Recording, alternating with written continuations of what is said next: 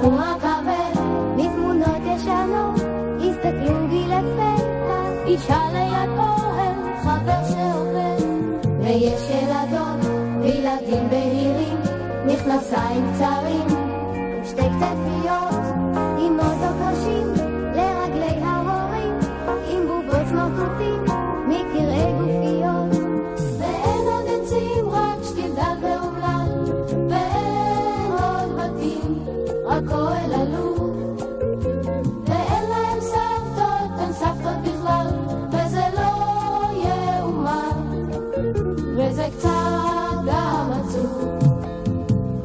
סבתא שעופה ובורות לשובע, נותנת ממתק ותפרה כפתורים.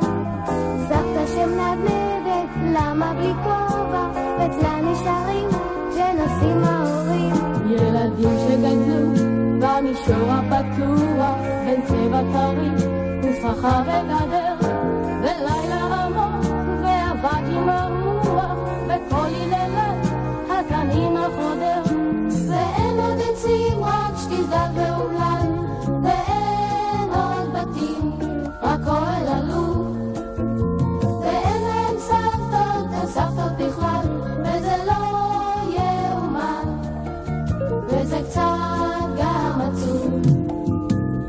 מים פתאום בשממה נחרב, פיצ'ו אל מקלט על כתף הנימה, זרועות מבזות אצל סבתא אוהבת, זוכרת הכל כמו שפעם היה.